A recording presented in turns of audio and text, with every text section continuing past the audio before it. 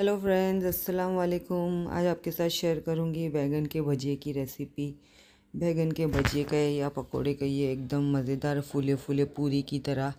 खाने में भी बहुत ज़्यादा टेस्टी है और बनाने में बहुत ज़्यादा इजी है तो ज़रूर से ट्राई करना इस रमज़ान में, इस रेसिपी को ट्राई करना बैंगन के भजिए को। भजिए सबके फेवरेट होते हैं।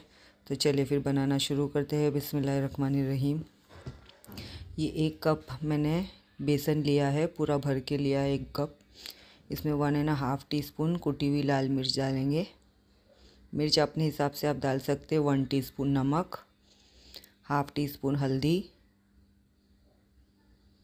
वन टीस्पून पिसा भुना ज़ीरा पाउडर वन टीस्पून गरम मसाला पाउडर वन टीस्पून धनिया पाउडर और एक कप भर के कोतमीर फ्रेश बारीक कटा हुआ और one half teaspoon chaat masala. अब सभी चीज़ों को मिक्स करके थोड़ा थोड़ा पानी डाल के इसका एक मीडियम सा हम घोल बनाएँगे। यानी कंसिस्टेंसी इसकी हमें एकदम ना पतली, यानी रनी भी नहीं होनी चाहिए और या ज़्यादा थिक भी नहीं होनी चाहिए मीडियम होनी चाहिए इस तरह से। कि हम कोटिंग बराबर उसके ऊपर हो सके उस तरह की कंसिस्टेंसी इसे आधे घंटे के लिए हमें छोड़ देना है। आधे घंटे के बाद इसे हमें बहुत अच्छी तरह से फेंटना है। पाँच से सात मिनट तक अच्छी तरह से इसे फेंट लेना है।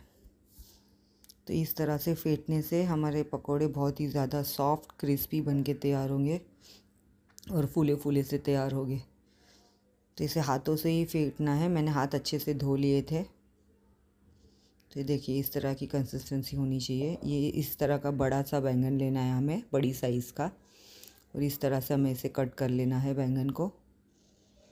और इसकी थिकनेस थोड़ी मीडियम यानी ज़्यादा पतली नहीं, ज़्यादा मोटी नहीं मीडियम होनी चाहिए थिकनेस तो ये बैंगन आधा ख़राब निकला था तो मैंने इसे बीच में से कट कर लिया है। देखिए इसमें से बीच से ख़राब हुआ था तो मैंने आधा निकाल लिया। अब इसे हम बीच से ख़राब निकाल के मैंने फिर से इसे इस तरह से कट कर लिया है। बहुत ही मज़े के बनते हैं ये बैंगन और इसे हमें पानी में नहीं डालना है, पहले ही धो लेना है काटने से पहले और मसाला पूरा रेडी रखना है, उसके बाद ही हमें इसे कट करना है। इस तरह से तेल हमारा अच्छे से गर्म होना चाहिए और थोड़ा खुला बर्तन लेना है। मैंने एक्चुअली साइज़ के हिसाब से मेरा बर्तन छोटा पड़ गया।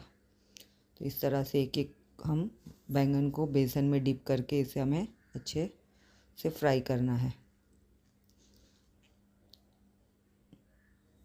देखें, इतने मज़े के ये बन के तैयार होते हैं तो रमज़ान में इफ़ार के लिए ज़रूर से ट्राई करना ये पकोड़े।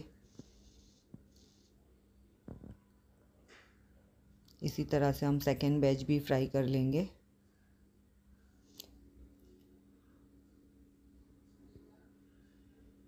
एक बैंगन के लिए एक कप बेसन का नाप एकदम परफेक्ट है, और साइज़ इस तरह से अगर आपने ये बड़ी साइज़ ली है तो उस हिसाब से आपको बेसन की क्वांटिटी लेनी है।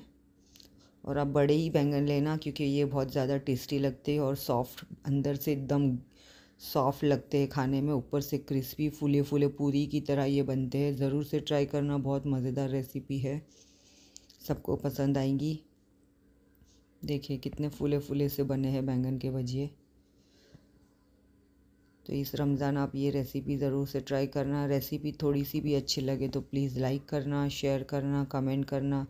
जो चैनल पे नए हैं तो प्लीज़ चैनल को सब्सक्राइब करना, बेल आइकन दबाना ना भूलना, ताकि जब भी वीडियो अपलोड करूँ, उसकी नोटिफिकेशन आप तक पहुँच सके।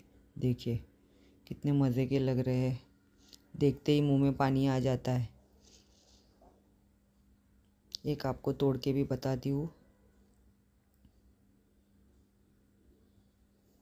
बहुत गर्म है। देखिए। कितने अच्छे से इसके ऊपर परत जमी है, यानी परत ऐसे पूरी की तरह लग रहे हैं और अंदर से एकदम सॉफ्ट, बहुत ही मज़े के लग रहे इसे आप चटनियों के साथ सर्व कीजिए। मैंने एक्चुअली जल्दी जल्दी में थी तो मैंने नहीं बनाई चटनी। इसे हरी चटनी के साथ आप सर्व कीजिए, बहुत ही ज़्यादा ये मज़े के लगते हैं। तो चले फिर मिलती हूँ नई रेसिपी के साथ। Bye bye.